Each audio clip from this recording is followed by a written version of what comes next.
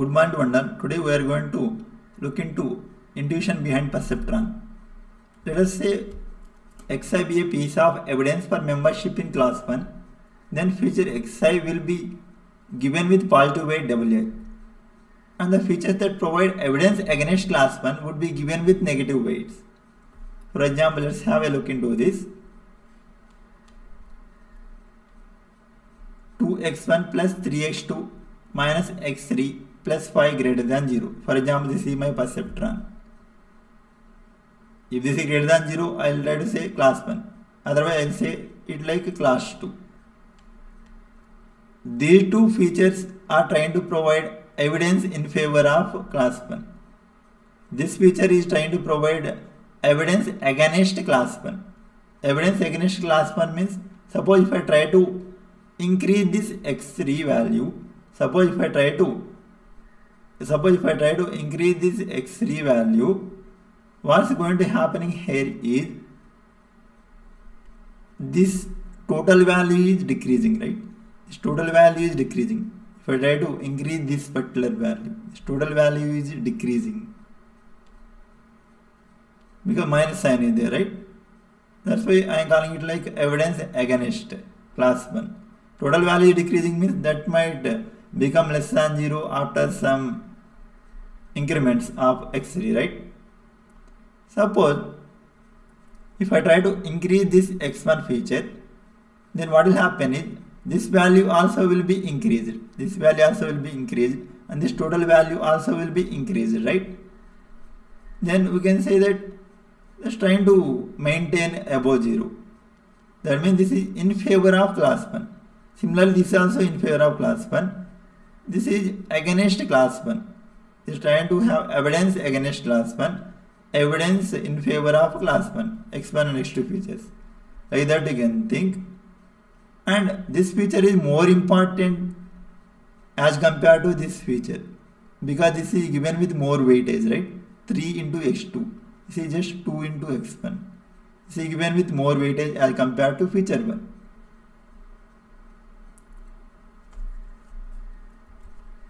very important features would be given weights with larger magnitudes than the others although it might sometimes be possible to arrive at satisfactory decision boundaries in this intuitive manner using our domain knowledge it would be more useful to have an algorithm that would automatically find the best set of weights given a training set of data. What I am trying to convey here is if I am having some intuitive knowledge, if I want to gain that intuitive knowledge, first I need to study something and I should try to understand with the help of my brain and I should try to analyze that one. Once I analyze that one with the help of my brain after a lot of effort, I can try to guess the weights W1, W2 up to WD with the help of uh, my analysis, with my domain knowledge. But I required so much of effort for that, right? I had to do so much of effort, manual effort for that one. And to gain abstract knowledge and after that I need to analyze that one. Which feature might be in favor of this one, class 1 or which feature might be against to class 1. That analysis everything should be done by me, right? and including which feature might be more helpful for our class. That weightage also I should try to predict, right? I need to apply so much of human intelligence. I don't want to do that one. What what's my plan is I'll try to collect uh, reasonable amount of training data. That x bar comma constant label class 1 or class 2 label. The training data amount of training data some limited amount of training data some reasonable amount. I'll try to collect that one. After collecting that training data I'll try to ask perceptron learning algorithm to learn all those weights W0, W1 up to WD with the help of these training samples. And using some error function followed by gradient descent algorithm or some variant of that one.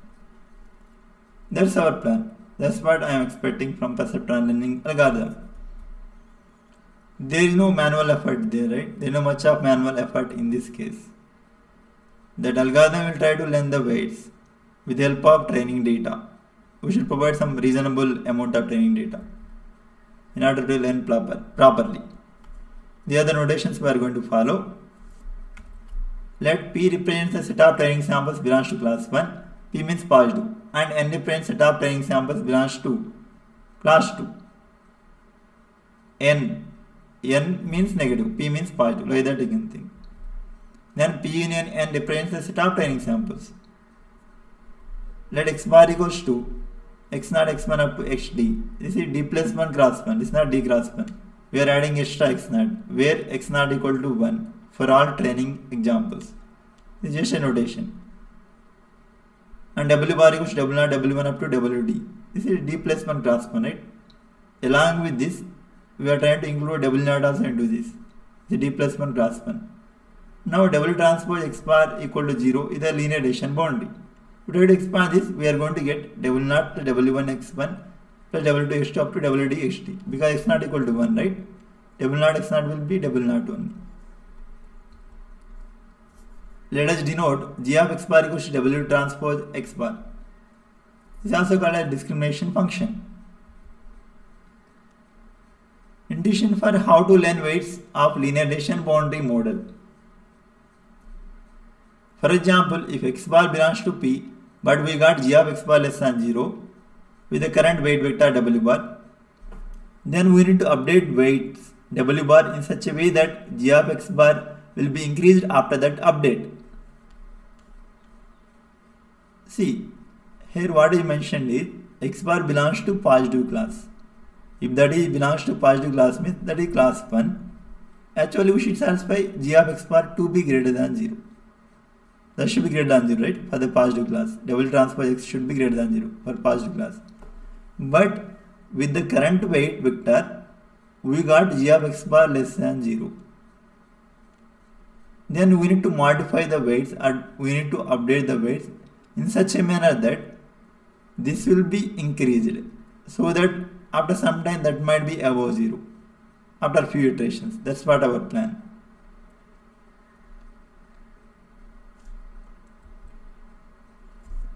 If ith feature xi has a positive value for that sample, then wi should be increased to increase g of x bar, where g of x bar equals to w1 x1 plus w2 x2 plus and so on, wd xt plus w naught. Let's try to have a look into this one. Actually, this is less than 0. We got less than 0. But we want this to be more than 0. Let's consider particular ith feature Suppose xi is a positive value. If xi is a positive value,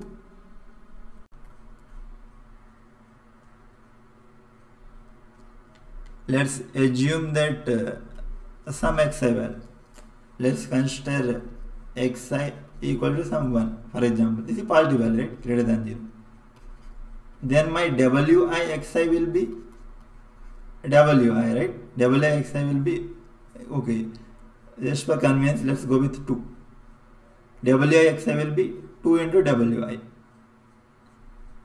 and my w transpose x bar equals to wixi plus sigma j naught equals to i j equal to 0 to d wj xj I want to increase this right? Actually what I got is I got this to be less than 0 I got this somehow less than 0 unfortunately with the current weights but actually I need greater than 0 in order to increase this one in this example when xi is positive this part will be 2wi if I want to increase this value I need to update this weight like this, right? For example, double A plus 0.1. Then what will happen? Double A plus 0.1 means I am going to have extra 0.2. This one plus 0.2, right? That means I am trying to increase this one with the help of this update. This is my past W transpose X. For the past W transpose X, this extra value I am adding 0.1 into 2 0.2 I am adding right suppose instead of this if I go with negative it means that I am subtracting that right it's not good for me I should increase this I should not decrease this one right it means whenever this xi is positive in this particular example, then I should try to increase the constant weight wi in this particular case. However, if xi were negative for that particular sample, then wi should be decreased in order to increase g of x bar. Suppose in this case, this is negative instead of positive. For example, minus 2. Then this will be minus 2 wi. This will be minus 2 wi.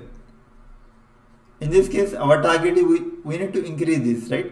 And in our example, we need to increase this value further. In order to increase this value, if you try to update this in the same manner, plus 0.1, then what we are going to get is minus 2 into 0.1. This will be minus 0.2. This is decreasing, right? Instead of increasing, this is decreasing due to this negative sign. So in this case, we should not increase this weight. We should try to decrease this weight. We can go for, for example, just an example, minus 0.1. If you decrease this weight, then this will be plus 0.1, right? This will try to increase. That's what we need to do. However, if xi were negative for that sample, then wi should be decreased in order to increase this value. One simple way to update the weights in this situation is just add xi to old wi. Just add xi to old wi. A simple way. Yeah, what they are saying is suppose x bar belongs to P but unfortunately I got W transpose x bar less than 0 with the current weights. I should get greater than 0 but I got less than 0 with the current weights. Now I want to update this weight. I can try to update in this manner. In this example case, I can try to follow this update rule.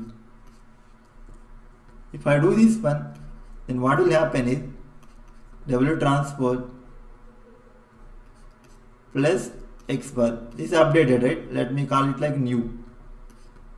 This is W transpose new updated weights. Transpose into X bar. This will be equals to this is old W transpose X bar plus X bar transpose X bar means norm x bar square. Is nothing but uh, x naught square plus x 1 square plus up to x d square. Norm x bar square means this is always positive quantity unless all those values are zeros. If x naught to x d all of them are zeros, that's not possible, right? If all of them are zero, then will be then this will be zero. This will never become negative. Most of the times or always this is positive. This is greater than zero, right? for all x bar not equal to 0 this is greater than 0 now this will work out for us right? We need to increase this value increase our g of x bar in this case because we got less than 0 now some positive value we are adding effective right? With the help of this update this kind of update w new equals to w old plus x bar in these scenarios. If x bar is positive actually but unfortunately we got less than 0 then we can do this operation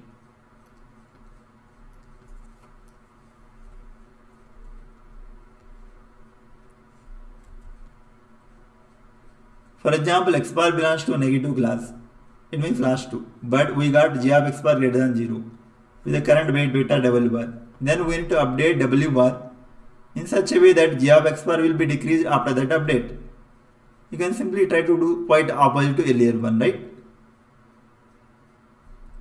If ith feature of xi is positive value for that sample, then wi should be decreased to decrease this one. You can have similarity with earlier one, just quite opposite to that. Here you will try to do w bar new equals to w bar old minus x bar. Earlier we had done plus x bar, right? Now we should do minus x bar because we need to decrease this g of x bar. And this is a perceptron learning algorithm. First, initialize the weights because we don't know what are our expected weights, right? We are trying to ask that algorithm to learn the weights. For that, we will start with some initial random weights W0, W1, W2 up to WD. We can consider always to be 0 or to be some small random values or if you are able to guess with your intuition you can try to guess. Initial guess, good initial guess might be helpful for fast convergence. You can try to approach the solution much faster. Step 2. Choose the next sample x bar from the training set.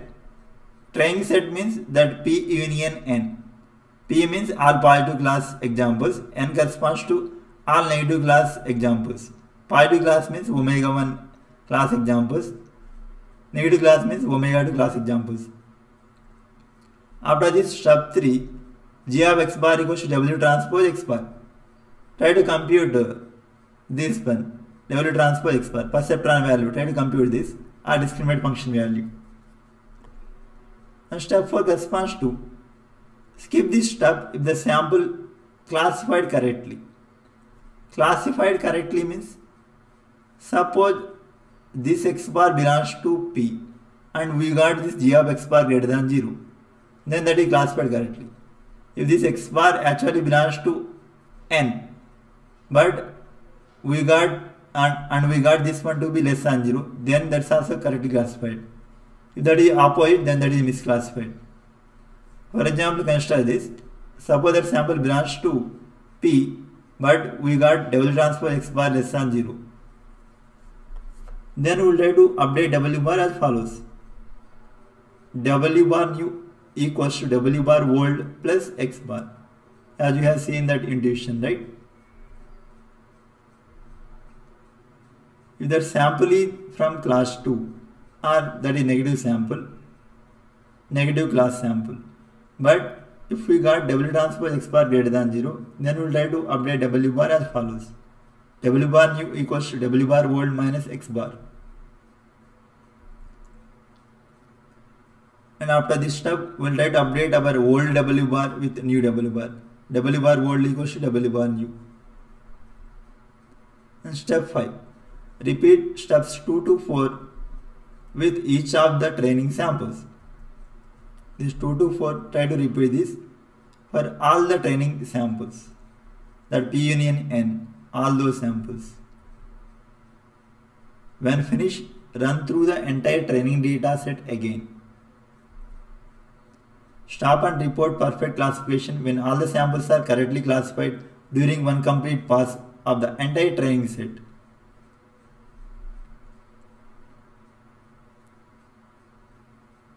An additional stopping rule also needed since this process would never terminate if the two classes were not linearly separable.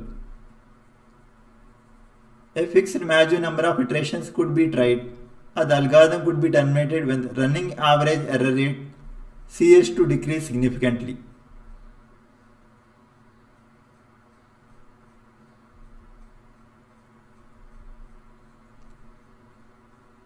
Need for feature normalization. If a particular feature usually has large values, the changes in its weight updates by this algorithm will also be large enough, right? That will also become large because we are trying to follow update as follows. W bar new equals to W bar plus or minus X bar. Suppose X1 is very large value compared to X2, X3, X4 up to HD. Then the update for X1 also becoming huge, right? That's the problem we are going to get here. This is the opposite of what one would want or one would expect. If two features are about equally important, the one with large value should end up with small weight and the one with small value should end up with large weight when they are equally important. To speed up convergence, we need to go for feature normalization. For example, you can go for Z-score feature normalization which will try to make zero mean unity variance for all the features. We will try to apply Z-score feature normalization for all those D features. And some variant of perceptron learning algorithm. There are some changes in step 4. Remaining all steps are same. We will try to have some variation in this update. Instead of having w bar plus x bar, we'll have plus alpha into x bar, where alpha is some positive quantity. Similarly, we'll have w bar minus alpha x bar in this case, where alpha is some positive quantity. And it will be good to consider x naught as average absolute feature value in the problem so that changes in W naught will not will be about the same size as changes in other weights. It may speed up convergence. Changing the weight double naught translates the decision boundary but leaves its orientation parallel to that of original position.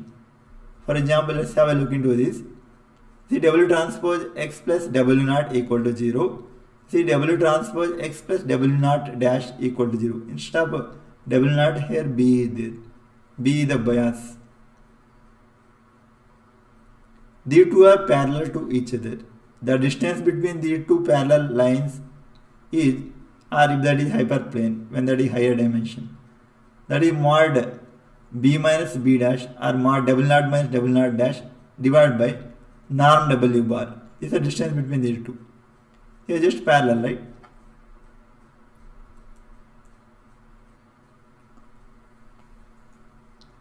After this training process over, after using perceptron learning algorithm, after so many iterations, if they are linearly separable like this, these two classes are linearly separable, right? We may end up with one of these infinitely possible linear decision boundaries. Based on your initial weights, you might end up with this line as a decision boundary or this might be your decision boundary after training or this might be your training decision boundary or this might be your decision boundary. You'll have infinitely many such decision boundaries, possible decision boundaries based on your initial weight vector. Thank you.